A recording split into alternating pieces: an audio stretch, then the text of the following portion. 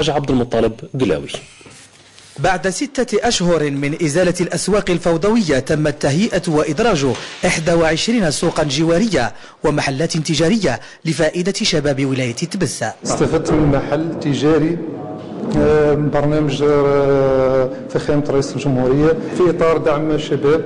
طاولي محل وراني راه نخدم على روحي. طيب محل تجاري. باش إن شاء الله نكمل به النشاط تاعي إن شاء الله. يسهل ربي. ومشكورين. شباب منطقة الشريعة وبير مقدم هم بدورهم. استفادوا من هذه العملية التي ستنظم نشاطهم التجاري. اتخذت الولاية جملة من الإجراءات لمعالجة هذه الظاهرة وإدماج الباعة غير الرسميين في النشاط الرسمي.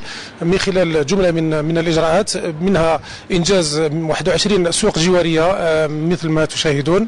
هذا واحد من بين 21 آه، فيه أيضا بقيمة مالية فاقت 185 مليون دينار بالإضافة إلى تهيئة 20 فضاء تجاري أيضا لاحتضان أسواق أسبوعية وكذا آه، خمس أسواق أكيدت مهمة إنجازها إلى مؤسسة باتي ميتال والأشغال في مرحلة متقدمة.